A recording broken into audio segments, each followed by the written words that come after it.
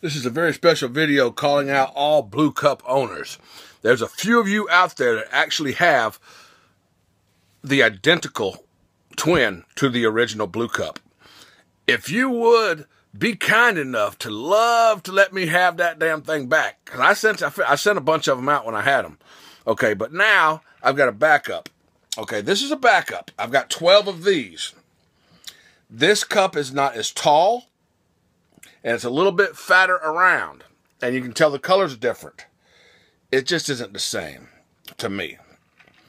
I will gladly send you a new blue cup along with some other goodies in a nice freaking thank you package if you would kindly just send me the blue cup that I gave you originally. There's a couple of you out there now. Rocky Dean, get your ass on the ball, boy. I know you at the damn I know you don't get on here much, but I know you've got a blue cup.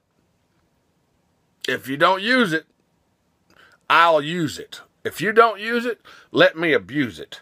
Calling all blue cup owners. I have I, this is a serious issue. I I need a blue cup.